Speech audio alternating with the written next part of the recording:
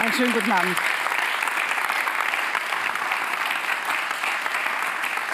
Herr Baum und was Sie beide eint, Sie sind in etwa eine Generation. Sie sind zehn Jahre älter. Sie sind beide im Osten geboren, beide dann in den Westen rüber. Ähm, Sie haben in den 50er Jahren, Herr Baum, die FDP gewählt. Warum? Als Partei. Ja, ich, ich habe nach dem Zusammenbruch mich umgesehen, als ich politisch schwach wurde und habe gesagt, das ist ja eine furchtbare Katastrophe. Wie ist denn das gekommen? Wie konnte ein Volk einen solchen moralischen Absturz erleben und herbeiführen, indem ja die, in Weimarer Zeit Hitler gewählt worden ist.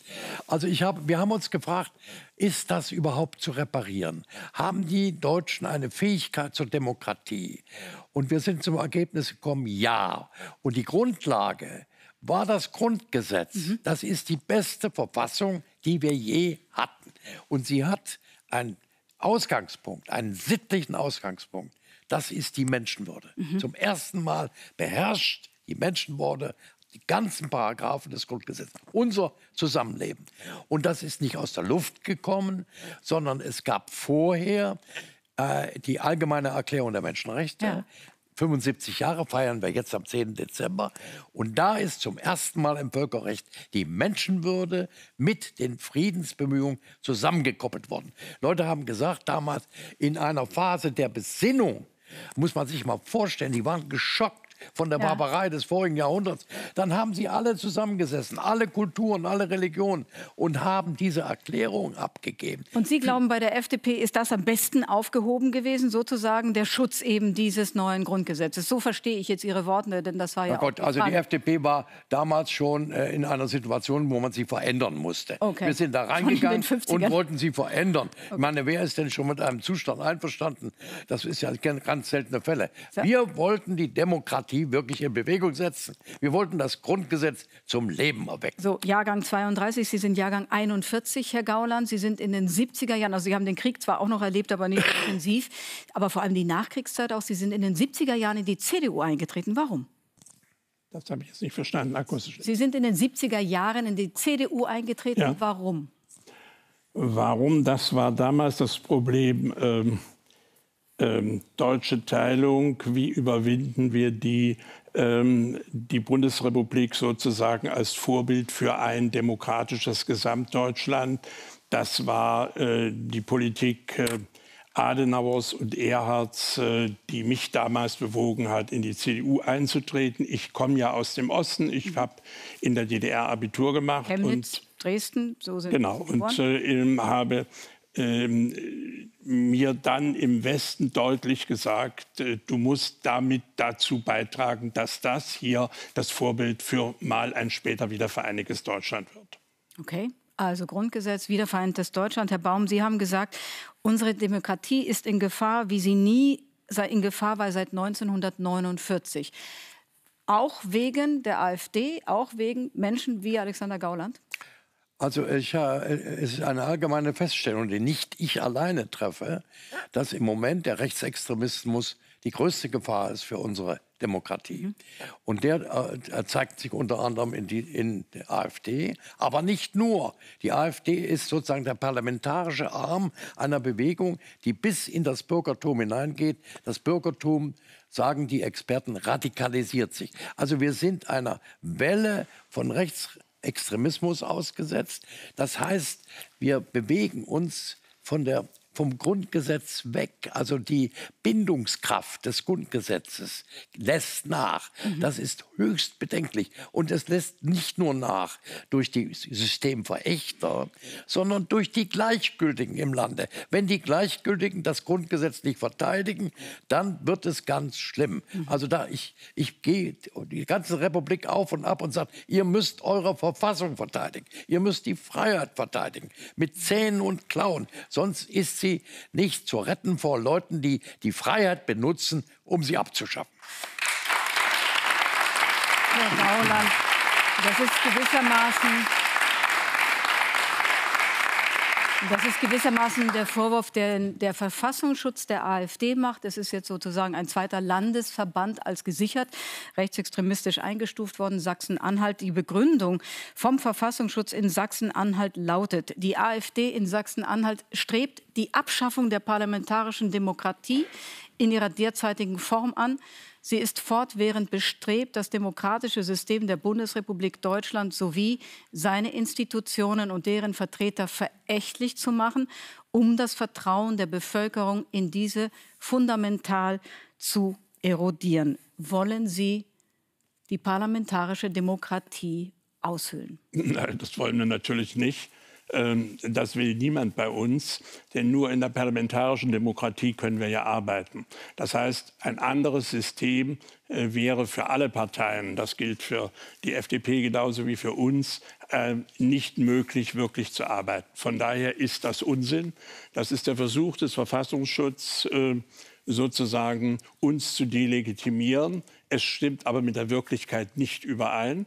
Mhm. Wir sind im Gegenteil sogar für eine äh, Demokratie, bei der es mehr Volksabstimmungen gibt, bei der es mehr direkte Demokratie gibt. Darüber kann man streiten, das weiß ich. Aber jedenfalls gibt es für uns keine Alternative zum Grundgesetz und zur parlamentarischen Demokratie. Und wir haben nie etwas anderes gefordert und gewünscht. Aber Sie verletzen das Grundgesetz. Nein, das machen wir nicht. Ich will es Ihnen sagen. Äh, Sie haben äh, einen Ansatzpunkt des, der Kritik, der zur Verfassungswidrigkeit führt. Sie haben ein völkisches Denken, das andere, andere Her Menschen anderer Herkunft, anderer, anderer Religion ausgrenzt. Und das Verfassungsgericht hat gesagt, ich sage das aus, wer Menschen ausgrenzt, wer verletzt deren Menschenwürde. Mhm. Das ist der Hauptvorwurf, den die Verfassungsrechtler Ihnen machen. Ich setze noch einen dazu. Sie Vielleicht eins nach dem anderen, aber ja, noch einen dazu. Ich könnte noch mehrere nennen.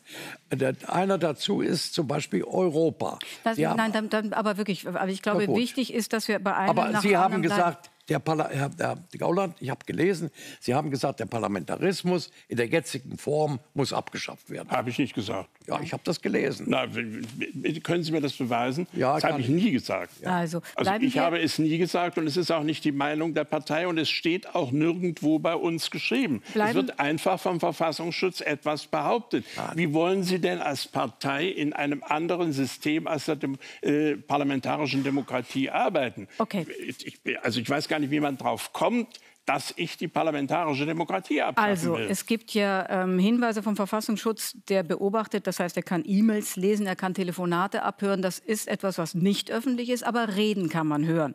Ähm, und eine Rede wollen wir uns kurz anhören, die kommt von Björn Höcke, der Vorsitzende der AfD in Thüringen. Er hat am Anfang des Monats in Dresden bei einer Kundgebung von Pegida gesprochen. Jetzt, liebe Freunde, ist der Ernstfall offenkundig. Jetzt sind wir in das Stadium des Vorbürgerkriegs eingetreten. Und glaubt mir, wenn es hart auf hart kommt, dann werden wir uns erkennen. Dann werden wir uns finden. Dann sind wir das, was wir immer waren, treu und deutsch und eine Gemeinschaft, die die Zukunft erkämpfen wird vor Bürgerkrieg, treue deutsche Gemeinschaft. Wie klingt das in Ihren Ohren, Herr Baum?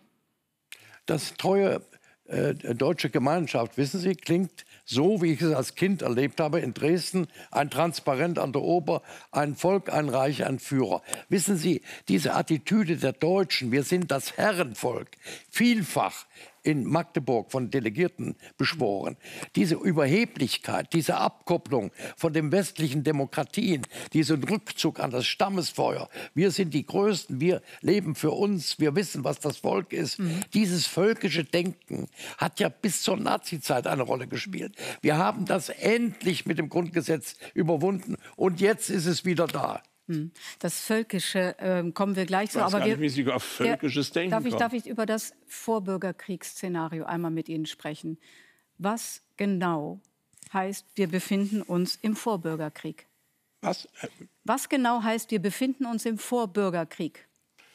Äh, müssen Sie Herrn ähm, Höcke fragen, das weiß ich nicht. Mhm. Ähm, Ich interpretiere das, was er gesagt hat, so, dass äh, die Spaltung in der Gesellschaft die Gefahr für das Grundgesetz wie für unser Zusammenleben ist okay. und dass er das deutlich machen will und auch im Grunde genommen eine Politik vertritt, die gegen diese Spaltung in der Gesellschaft ist. Haben Sie mal es steht sein, nirgendwo, hat Herr Höcke bei der Rede gesagt, er wolle die parlamentarische Demokratie abschaffen. Haben Sie sein Buch gelesen, Nie zweimal im selben Fluss? Ich, wenn man das liest, dann weiß man, dass Herr Höcke ähm, mit einem Bürgerkrieg im Großteil Europas rechnet. Er bereitet sich darauf vor. Er sagt, wenn einmal die Wendezeit gekommen ist, dann machen wir Deutschen keine halben Sachen. Er redet davon, die Festung der Etablierten von drei Seiten in die Zange zu nehmen, protestierende Bürgerbasis, als parlamentarische Speerspitze die AfD. Und dann wäre wichtig noch eine weitere Front aus frustrierten Teilen der Staats- und Sicherheitsapparates heraus, die die Wahnsinnspolitik der Regierenden ausbaden müssen. Ist das eine Stütze des demokratischen Systems? Das können Sie so interpretieren. Sie interpretieren es anders. Ich habe es nie als Abschaffung der Demokratie interpretiert. Wie interpretieren Sie das? Dass Herr Höcke eine gewisse Gefahr in der, sieht in der politischen Entwicklung, die dazu führen kann, dass wir Zustände bekommen, wie wir sie ja leider in einigen Ländern sozusagen schon haben. Die Auseinandersetzungen nehmen zu. Die Auseinandersetzungen im Parlament nehmen zu, das ist gut und richtig, aber sie nehmen leider auch auf der Straße zu. Und wenn Herr Höcke dem entgegentritt. Ich hätte diese Formulierung so nicht gebraucht, aber ähm, ich kann das akzeptieren. Ich kenne ihn gut. Er ist ein Demokrat und er ist kein, Sie kennen ihn nicht, lieber Herr Baum. Aber ich lese von ihm, das reicht ja, was er sagt. Entschuldigung, ich kenne Herrn Höcke, er ist Demokrat, er ist auch nicht völkisch. Wir vertreten kein völkisches Ideal, das heißt, jeder muss von einem Deutschen abgestammt äh, sein, sondern wir vertreten sozusagen die Kulturgemeinschaft. Ja, wir sind gegen die Massenimmigration von Menschen, die von einer völlig fremden, uns fremden Kultur kommen. Und Sie sehen auf den Straßen, dass wir, wie, die wir, was wir jetzt äh, erleben können in der Auseinandersetzung um äh, Israel, dass es in der Tat Menschen gibt, die bei uns eingewandert sind, die mit den Werten, die auch Sie vertreten und die ich auch vertrete, überhaupt nichts zu tun haben. Und das war ein Fehler. Und das sagt auch Herr Höcke. Also, Völkisch ist das also das, was, was Herr Höcke, Sie, was meinen Herr Sie Höcke sagt, hat ja kein, es ist ja kein Befriedungselement. Er sagt uns den Kampf an. An einer anderen Stelle der Entscheidung, die Sie, voraus, die, diese Entscheidung, die Sie zitiert haben, Sachsen-Anhalt, Verfassungsschutz, da ist von den drohenden Bürgerwehren die Rede. Das heißt, die Nähe zur Gewalt ist da. Übrigens gibt es im Lande... Es gibt keine Bürgerwehren der ja, AfD. Nein, Nirgendwo. aber er, er, denkt darüber nach. Nicht?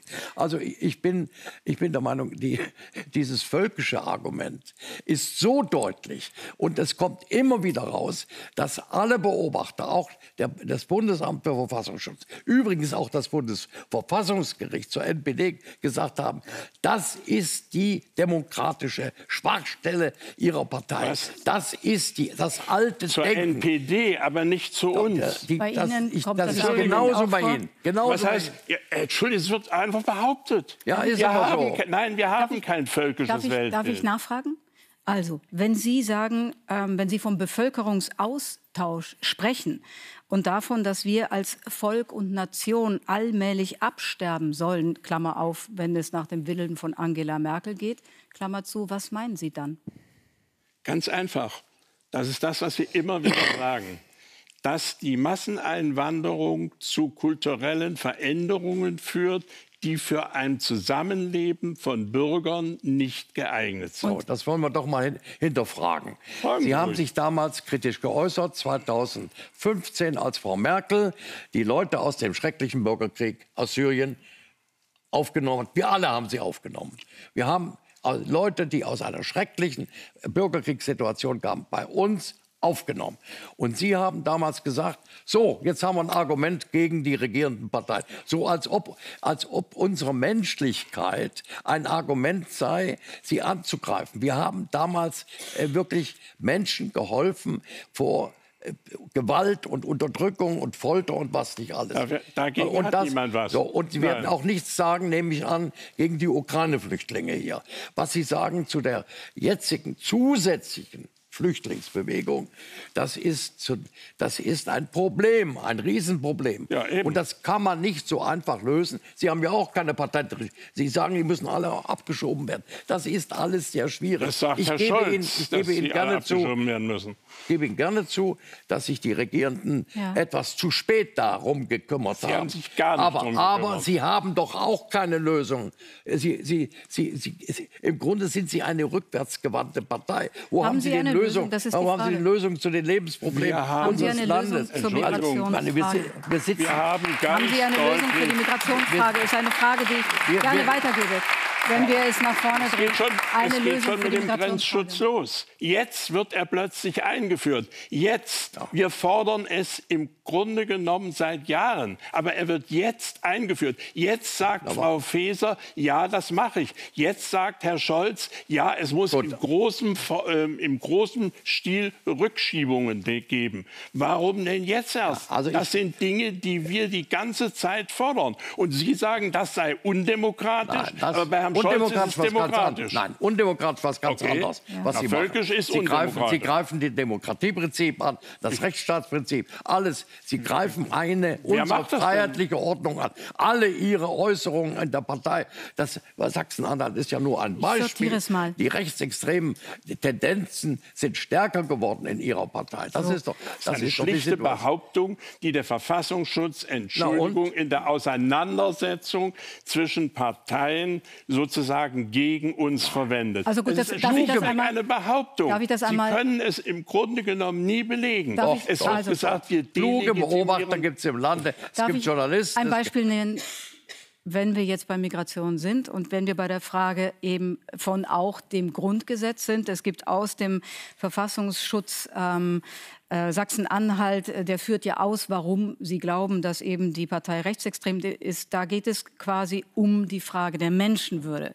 Da wird gesagt, führende Vertreter der Partei bedienen sich einer dämonisierenden Wortwahl, indem sie Migranten zum Beispiel als Invasoren, Eindringlinge oder kulturfremde Versorgungsmigranten diffamieren oder deutsche Staatsbürger mit Migrationshintergrund als Passdeutsche bezeichnen. Eine solche Abwertung von Menschengruppen aufgrund ihrer ethnischen oder religiösen Identität verstößt gegen das Prinzip der Menschenwürde, Artikel 1 Absatz 1 Grundgesetz. Ja. Ja. Das ist das, was der Verfassungsschutz zu ja. dieser Frage sagt. Und das wäre eindeutig verfassungswidrig. Ja. Und die Zitate kommen aus öffentlichen Reden. Also ich, ich Moment, sage... Jetzt darf ich Herrn Gauland dazu Nein. Äh, Doch. Ich will jetzt hier überhaupt nicht über einzelne Worte schreiben. Nein, das müssen wir, Herr Gauland. Nein, Sie müssen bitte über Invasoren reden, über kulturfremde Versorgungsmigranten.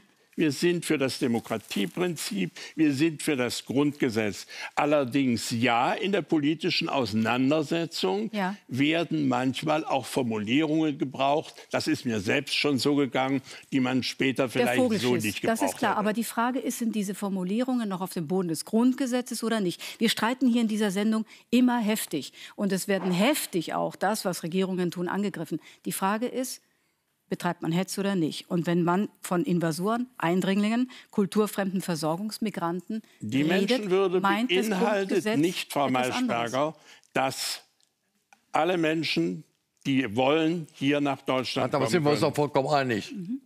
Das, ist doch nicht das Problem. Das Problem ja, ist, wir wie, retten, wie retten wir das Problem, wie retten wir das Asylrecht? Es gibt ja politisch Verfolgte noch auf der Welt. Ja, haben wie, Sie völlig wie, wie, Welche Verfahren und wo wenden wir an, um festzustellen, ob es ein politisch Verfolgter ist oder nicht? Also ich meine, ich komme aus Dresden. Ich habe die, äh, ich meine, ich bin gestört worden auf einer Kundgebung von Pegida. Äh, das Pegida ist ja auch einer ihrer Schützlinge, diese Organisation.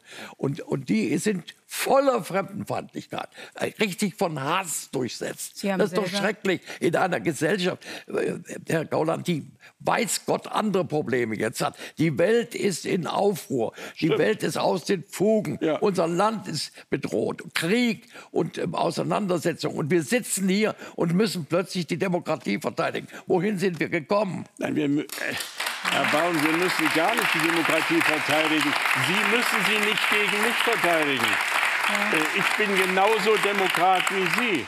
Und wir werden ja sehen, ob es äh, der, der, Versuch auch nur, es wurde ja vorhin gezeigt, der Versuch auch nur die AfD zu verbieten, da möchte ich mal sehen, was das Verfassungsgericht sagt. Ja, das wär, das Sie sind ein bisschen zu schnell. Noch äh, gibt es, und vielleicht wird es nie ein Verbotsverfahren geben, aber ähm, eines noch, Sie haben selber einmal davon gesprochen, dass man damals die, ähm, aus, äh, die, die Migrationsbeauftragte Frau Ösus aus Deutschland entsorgen sollte. Ja, das war, das war, ich habe ja auch gesagt, man macht in der politischen Auseinandersetzung Fehler. Den haben Sie zweimal gemacht. Sie wollten auch Frau Merkel entsorgen. Mir geht es jetzt wirklich um die ich Wortwahl. Ich habe das nicht zweimal gemacht. Doch, Sie haben zweimal das Wort entsorgen. Also. Mir geht es tatsächlich um die Wortwahl, weil das ist verfassungsrelevant.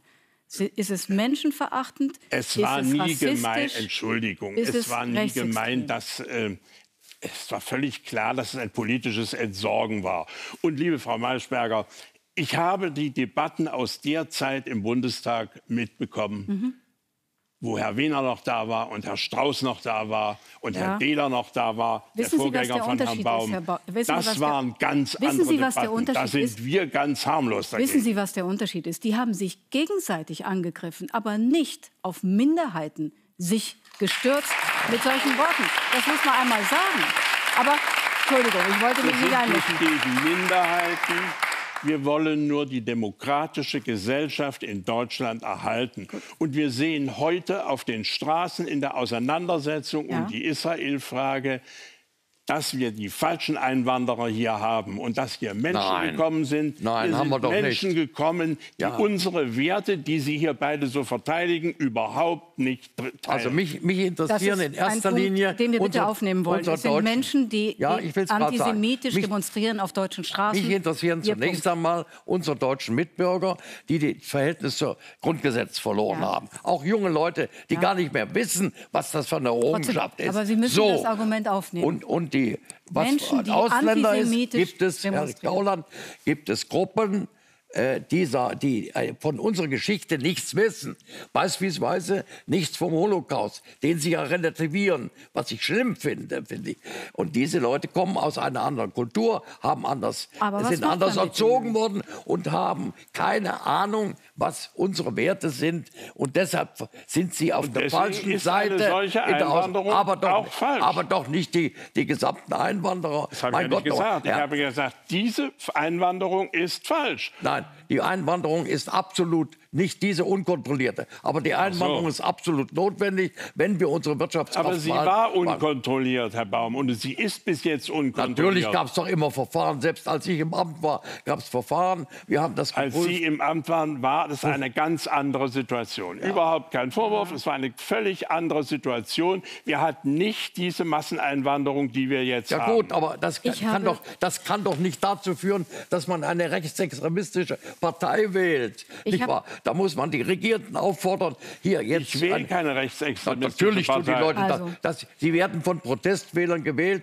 nehme ich mal an, die mit ihrer Ideologie nichts zu tun haben. Das ist schlimm. Die demokratischen Parteien müssen die zurückholen, Darf müssen sie wieder ans Grundgesetz Es gibt Wahlen. Es gibt wenn Wahlen die demokratischen Parteien, wie Sie das nennen, das sind wir übrigens auch. Aber wenn die, ich nenne das jetzt die Altparteien, wenn die Altparteien diese Probleme gelöst hätten, gäbe es uns nicht. Uns gibt es, weil diese Probleme nicht gelöst worden ich, sind. Ich darf noch mal einhaken. Die Frage, wie Sie die Probleme lösen wollen, hat ähm, jetzt einmal Ihr ähm, Spitzenkandidat für die Europawahlen öffentlich beantwortet. Er heißt Maximilian Krah und das ist seine Idee, wie man mit der Migration umgeht. Jeder ist da am besten, wo er hingehört. Einwanderung funktioniert nicht. Niemand ersetzt fehlende Kinder eines Volkes. Dieses Volk stirbt aus. Wir wollen nicht aussterben, also brauchen wir keine Einwanderung, sondern Kinder. Denn Einwanderung ist Multikulti und multikulturell ist multikriminell. Schlimm. Teilen Sie das? Schlimm. Teilen Sie das, Herr Gauland? Ich hätte es so nicht ausgedrückt, weil. Ähm, Sie sagen immer, ich hätte es so nicht ausgedrückt. Nein, bei Höcke, bei nein, dem jetzt. Das kommt ganz drauf an. Teilen Sie das? Einwanderung aus Ländern, die unsere Werte teilen, ja. Einwanderung in unsere Sozialsysteme aus Ländern, die überhaupt nichts mit unseren Werten zu tun haben? Nein. Er sagt, Einwanderer sind eigentlich alle kriminell. Teilen Sie Wie, das? Wie können Sie denn Leute zum Beispiel aus einem Land, das keine Demokratie ist, die hier hinkommen, generell als, als, äh, äh, als äh, Feinde äh, der Demokratie bezeichnen? Sie müssen den einzelnen Menschen angucken. Dort werden im Iran Leute unterdrückt oder überall in der Welt. Aber Und da kommen Sie Wir zu sind uns. ja nicht gegen das Asylrecht. Entschuldigung, Sie kommen jetzt wieder mit dem Iran. Das sind das Leute politisch verfolgt. Jawohl. Aber das ist es ja nicht. Entschuldigung, wo kommen denn die meisten Leute her? Die kommen gar nicht aus Diktaturen. Äh, aus Südafrika kommen die Leute. Es kommen die Leute plötzlich aus der Türkei. Das Ja, sind gut. ja alles, äh, die Türkei ist NATO-Mitglied. Ja, ja. also bitte. Gut, aber die, es die müssen, Leute es haben müssen hier ein- rechtsstaatliche Verfahren entwickelt werden Ja. und sie müssen umgesetzt Ja, wir haben werden doch in, ein, in einem Europa, das nicht solidarisch ist. Das muss man doch sehen. Ich möchte was Das zu Herrn Europa Krah sagen. ist- Ja. Nein, ist in der Flüchtlingsfrage nicht solidarisch. Ja, ich hatte ihn möchte aber- was- ich habe keine ja, Zu Herrn Antwort. Möchte ich Ich noch wollte was gerne sagen. noch wissen, ob Herr Gauland die Haltung von Herrn Krah auch teilt, dass Einwanderung gleichzusetzen ist mit Kriminalität. Das würde ich schon das- gerne wissen. Einwanderung und Kriminalität im Prinzip Hand in Hand gehen. Da gibt es offensichtlich gewisse Relationen. Ich kann das jetzt nicht äh, genau sagen, was er da gemeint hat, ist aber Ihr er gibt es. Spitzenkandidat. Also, wir, äh, wir sehen es doch jetzt auf den Straßen, Frau Maischberger, dass es natürlich Einwanderer gibt, die unsere Rechts- und Werteordnung nicht Ja, billigen. aber es gibt und viele andere. Ein Fehler. Ja, Es es, gibt, ist nicht wir leben mit worden. in dieser Stadt leben wir mit, mit einer großen Zahl von Muslims seit Jahren friedlich zusammen. Darf ich noch eine Frage stellen, die sich daran anschließt? Das ist wenn ja man, gut. wenn Hat, man, gegen die hat ja auch niemand was.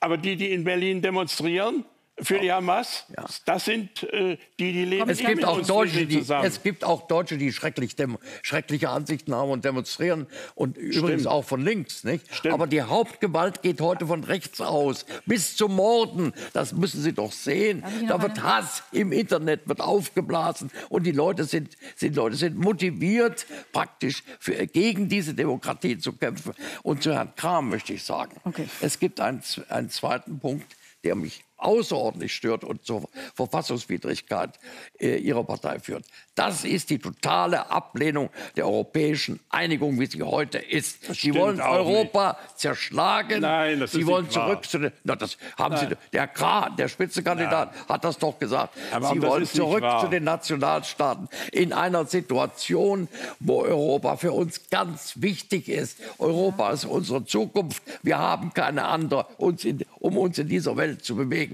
Sie, haben, Sie sind eine Anti-Europa-Partei. Sie müssen ihn einmal darauf reagieren. wir wollen nur, und das ist völlig richtig, die EU reformieren.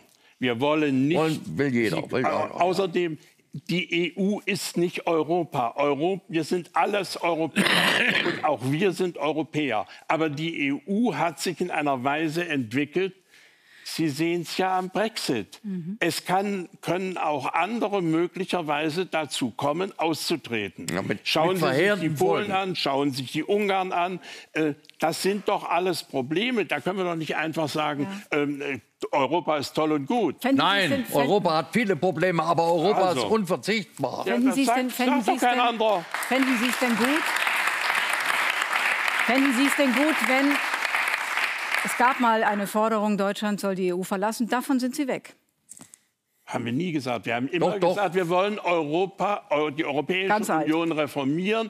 Wir wollen bestimmte Dinge nicht gemeinsam haben. Wir Mhm. wollen sozusagen den Nationalstaat in seinem Kern erhalten. Aber wir sind für die Wirtschaftsgemeinschaft, so wie sie Ja. ursprünglich von Walter Hallstein und Konrad Adenauer konzipiert wurde. Also ich will nicht wieder auf Herrn Höcke rekurri- rekurrieren, aber der hat wörtlich gesagt, die EU muss sterben. Das klingt anders. Weil diese EU in der Form, Na, sie wir haben muss gerade keine. anders werden. Nein, nein, nein, es ist ein Unterschied, Herr Gauland. Wenn man sagt, die EU muss sterben, sagt man nicht, diese EU muss reformiert werden. Das ist ein Unterschied. Würden Sie mir das zugestehen? Die Formulierung von Herrn Höcke hieß nicht, er ist, hat, ist auch auf dem Magdeburger Parteitag aufgetreten. Ja. Äh, Sie, Faktencheck die EU dazu, er muss hat es eine gesagt. andere werden. Nein. Das meint er. Er meint diese EU. Also, es Also- heißt, das Zitat heißt, diese EU muss sterben, damit das wahre Europa leben kann. Faktencheck, wir stellen es online, damit man sehen. Weil wir vorher über Antisemitismus gesprochen haben, ich muss das leider machen, weil viele, die uns zuschauen, wahrscheinlich das Gefühl haben, wenn jetzt die AfD für Israel und gegen Antisemitismus ähm, auch demonstriert und spricht, dann sind da die Falschen am Werk. Ich möchte äh, Charlotte Knobloch einmal zu Wort kommen lassen in ihrer Rede im Bundestag 2021 im Januar zum Holocaust-Gedenktag. Diese Worte richte ich explizit nicht an die ganz rechte Seite des Plenums. Ich kann nicht so tun, als kümmerte es mich nicht, dass Sie hier sitzen. Ich spreche Sie nicht pauschal an. Vielleicht ist die eine oder der andere noch bereit zu erkennen, an welche Tradition da angeknüpft wird. Zu den übrigen in Ihrer Bewegung. Sie werden weiter für Ihr Deutschland kämpfen. Und wir werden weiter für unser Deutschland kämpfen. Ich sage Ihnen, Sie haben Ihren Kampf vor 76 Jahren verloren. Sie waren da als jemand, der die, den Krieg und die Nachkriegszeit erlebt hat, Herr Gauland. Äh, macht es Sie nachdenklich, wenn Frau Knobloch so etwas an Ihre Sie haben mich hier Partei sitzen sagt? sehen. Ich habe da gesessen. Es war eine große Rede von Frau Knobloch, aber in dieser Folgerung liegt es falsch. Da habe ich eine andere Meinung. Ja, haben Es, Sie, hm? Natürlich gibt es Antisemitismus in der Gesellschaft. Aber Sie hat äh, den Antisemitismus ich habe mich immer in dieser Frage auf Seiten Israels gestellt.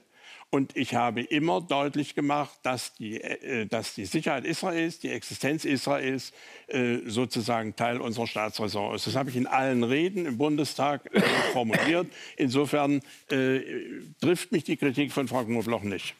Also Sie haben eine Äußerung gemacht, die sich eingegraben hat in unserer Erinnerung. Jetzt kommen Sie haben, nicht wieder mit dem Sie haben- Vogelschiss. Ich muss, kommen Sie mit dem Vogelschiss. Was Also Sie haben auch andere Äußerungen gemacht dazu. Sie haben unsere Erinnerungskultur in Frage gestellt. Sie haben gesagt, es muss ein Schlussstrich Habe ich sein. nicht gemacht. Wir, ich Das kann das alles zitieren, habe Ja, alles nachgeguckt. Sie- Ich bin nicht. eingetreten in eine Partei, um den Schlussstrich zu verhindern. Wir wollten aufarbeiten, was geschehen ist. Wir mussten das aufarbeiten. Sie- Und die Erinnerungskultur hat dieser Demokratie gut getan, hat sie gekräftigt. Der Vogelschiss Aber ein, hat Sie offen, damals ein ich weiß. positives Wort zu, Ja. Ich habe nie über die Erinnerungskultur das gesagt, was ich überhaupt nie. Also der Vogelschiss steht da. Sie haben sich dafür entschuldigt. Es bleibt trotzdem als Ich Fanal. habe Darf mich ich nicht einmal entschuldigt, ich habe mich schon zehnmal dafür entschuldigt. Und im Übrigen muss ich ganz ehrlich sagen, Ja. niemand hat damals die Rede hören wollen. So ist das in der Politik. Ich werfe das niemandem vor. Der ganz- Vogelschiss war nicht bezogen auf den Holocaust oder auf irgendwelche Verbrechen, sondern er bezogen auf die Kürze der Zeit in einer tausendjährigen Geschichte. Ja, das das war ein falsches Bild. Ich bestreite das überhaupt nicht. Nur in der Politik ist es wunderbar, dass Sie können sich hundertmal entschuldigen, tausendmal Ja, aber entschuldigen. da- das Sie doch- immer wieder derselbe Aber Herr Gauland. Sie kommen doch am besten raus, wenn Sie jetzt ein positives Wort zur Erinnerungskultur sagen. Ich habe immer ganz, was soll ich denn da noch sagen? Ich bin immer für die Erinnerungskultur eingetreten. Das Wir mal- nehmen auch teil. Sie haben mich da sitzen sehen. Sie müssen, ja, Sie müssen mal Herrn Höcke fragen. Sie haben gesagt, Herr Höcke Da ist müssen die... Sie Herr Herrn Höcke fragen. Nein, Herr Höcke Ich ist muss die, Herrn Höcke nicht fragen. Herr Höcke ist die Seele der AfD. Er Ach, ist nur doch nicht wahr. Ja, haben Sie gesagt. Ach, ist er der, ist, Sie haben er ist ihn- der Vorsitzende von Thüringen, von er ist- Seele der nein, AfD, kann gar nicht haben die Sie Rede gesagt. sein. Er Sie haben ist gesagt, nur so stark geworden, weil Sie den rechten Flügel gestärkt haben. Herr Sie haben gesagt, Sie haben eine ganz entscheidende Rolle gespielt. Sie haben ich bin gesagt- also derjenige, der Herrn Höcke gestärkt hat. Ja, sind Sie. Das ist doch völlig Unsinn, Herr Baum. Ich Wirklich fürchte, ich, politischer fürchte, Unsinn. ich fürchte, so muss man das sehen. Sie haben ihn mehrfach davor bewahrt, dass äh, innerhalb der Partei sich gegen ihn ausgesprochen wurde. Sie haben gesagt, er ist die Mitte der Partei. Damit lassen wir es bewenden. Sind Sie denn dafür, weil äh, dass es ein AfD-Verbot gibt? Es wird inzwischen gefordert. Wir haben Herrn Wanderwitz vorher ge gehört. Ja. Also wenn wir nur über das Verbot reden und glauben, das Problem sei damit erledigt, dann wäre das sehr, sehr kurzsichtig. Diese Gesellschaft muss das Problem lösen. Okay. Jeder Also einzelne von uns. So, Das habe ich jetzt, verstanden. jetzt. Also ich, ich würde, ich würde, ich habe nie zum Verboten geneigt. Es gibt in anderen Demokratien gibt es das nicht. Äh, Es, ich würde das aber nicht vollkommen ad acta legen. Wir wissen ja noch gar nicht, was ihre, ihre Kameraden da machen in, den nächsten, ja, in der nächsten Zeit. Es kommt ein Bericht, das, es kommt eine Entscheidung des, des Oberverwaltungsgerichts aus Nordrhein-Westfalen über die Frage, sind Sie ein Verdachtsfall oder nicht. Und das Urteil wird ganz entscheidend sein. Da werden noch mal, alles wird noch mal aufgelistet, was wir heute zum Teil besprochen Herr Gauland, Sie haben. haben Also ich schließe das nicht aus, mhm. aber meine Präferenz ist es nicht. Wir, die Bürger, müssen uns wehren. Herr Gauland, Sie haben am Anfang gesagt, Sie sind in die CDU eingetreten, Sie sind irgendwann mal ausgetreten. Sie haben über die AfD gesagt, das ist ein gäriger Haufen. Mal angenommen, es hat sich irgendwann mal ausgegärt. Und es ist nicht ein Verfassungsschutz, nicht zwei, sondern es sind drei, es sind vier Verfassungsschutzanstalten, die Ihnen Rechtsradikalismus, Rechtsextremismus nachweisen. Halten Sie dann dieser AfD immer noch die Stange? Also äh, erstens ist das äh, sozusagen irgendwas in die Zukunft projiziert, das ich nicht kenne. Darüber kann ich mich nicht äußern. Ja, die Hinweise häufen äh, sich. Wir ja. sind ein gäriger Haufen. Der gärige Haufen bleibt auch. Immer noch? Dem Verfassungsschutz traue ich nicht über den Weg. Denn der Verfassungsschutz ist sozusagen Teil des politischen Kampfes der anderen Parteien ach, gegen uns. Ach, absolut Blödsinn. Ja, ist mir klar, Herr also, ich meine, das sagen. Aber ja, es ist so. Und von daher Definitionen des Verfassungsschutzes interessieren mich persönlich gar nicht. Mich Ein letztes Wort sehr. des Bundesinnenministers AD. Der klar. Verfassungsschutz ist der parteipolitisch nein, nein, instrumentalisiert. Nein. Wir, wir, sind doch selber Beobachter, jeder von uns. Wir brauchen, der Verfassungsschutz hat eine Aufgabe, uns zu informieren. Nicht wahr? Aber wir bilden uns doch unsere eigene Meinung. Gut. Nicht wahr? Das ist äh, also ich finde, das, äh, das ist eine, eine abwegige Diskussion. Ja. Dann danke ich, dass Sie heute das ausgetauscht haben. Wir hatten Anlass, einmal wieder über die AfD und nicht mit der AfD zu reden. Herzlichen Dank, Gerhard Baum, dass Sie hier waren. Vielen Dank, Alexander Gauland. Dankeschön.